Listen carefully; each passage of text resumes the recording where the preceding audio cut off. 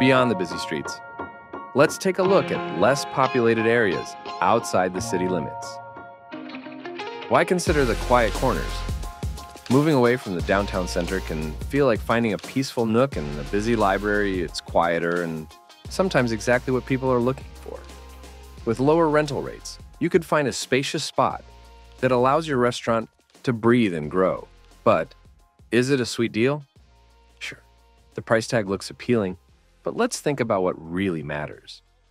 Does this serene spot offer enough visibility to attract eyes and feet? Think about the front of your restaurant. Is it catching glances from afar? How about foot traffic? Are enough people walking by to be tempted inside? And let's not forget parking.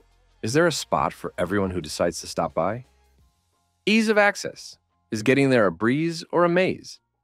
If your guests can easily hop off the freeway or glide through main roads to reach you, you might just have found your golden spot.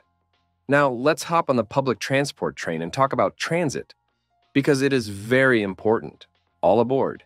Being near public transportation, think subways, trains, or bus stops, is like having a direct line to a diverse crowd. It's not just about being easy to find, it's about being easy to get to. From the daily commuter to the adventurous tourist, you're within reach.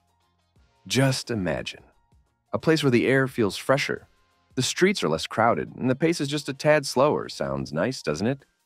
Setting up shop outside the city's heart can offer an escape route from the dreaded downtown gridlock. This tranquility can be a unique selling point, attracting those who prefer to dine without the din of the city. By considering these aspects, you're not just choosing a location, you're crafting an experience.